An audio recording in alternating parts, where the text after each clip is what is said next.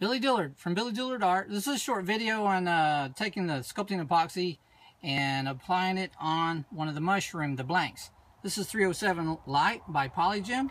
I've already got it mixed up and you can see that in a previous video on how to mix it. And now I'm going to be applying it. So you can see my tools. This is just a couple pieces of uh, scrap kindling. That's what it is. That's my high dollar sculpting tools for making mushroom. So anyway, um, what I do is I'll usually keep my gloves damp a little bit, grab me a chunk off, and let's see. Um, let's do this one right here. So just take it, squish it on there, man. Pretty easy. Um, grab me another chunk.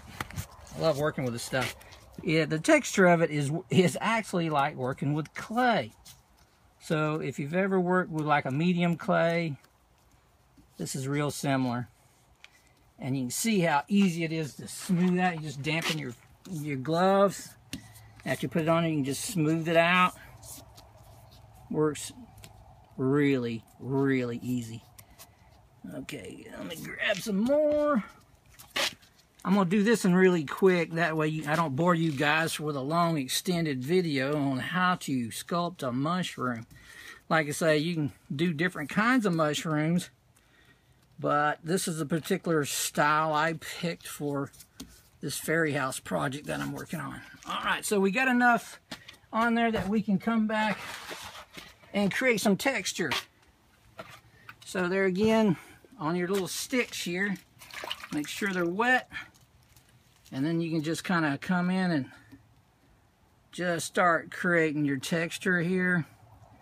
Um, mushrooms are pretty sporadic, so I wouldn't worry about trying to be exacting with it because you're not... I haven't seen mushrooms yet that are exactly the same. So this is um, the technique I like on this particular style mushroom. Yeah. Now we just cut in some lines.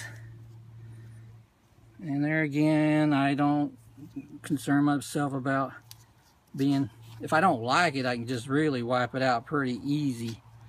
Okay, let's see, we need to create a different kind of texture going on here, so we will do that. Got these going. Now we'll start another row of these. It's kind of like another layer when the mushroom does the strange things that it does. Then come back over it a little bit right here. Now I want to add a globular up top here because that's usually the way it seems like they want to do.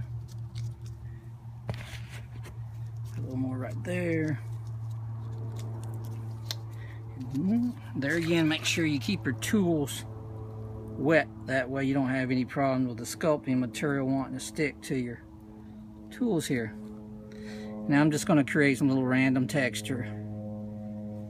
And we can come back in and create some of those breaks that we lost when I created that other texture. That's a good thing about this.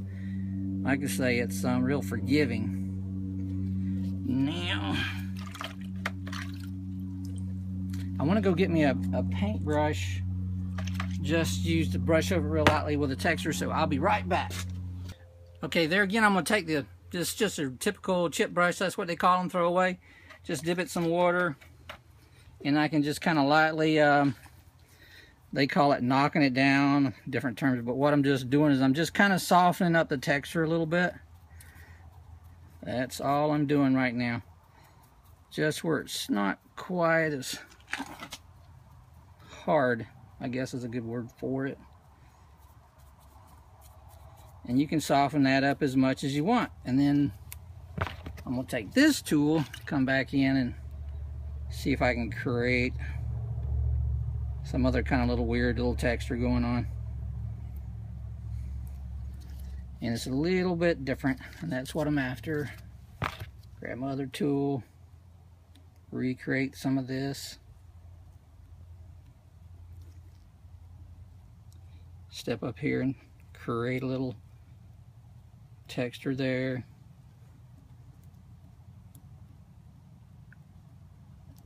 And that's pretty much it for this one. There's no sense on these particular mushrooms overworking them. And there you go. So um, hope that I helped you out. If you have any questions or comments, uh, subscribe and comment. Give me a comment. Um, like I say, if you have any questions, you can email me. You'll find my email underneath this video. I'll be more than happy to answer whatever questions you have. Thanks a lot, and y'all have a good day.